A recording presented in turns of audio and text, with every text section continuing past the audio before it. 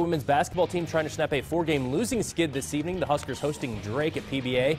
Second quarter, Fremont grad Riley Cascio Jensen nails the three-pointer, and you down five at the half. Fourth quarter, Huskers trying to hang around.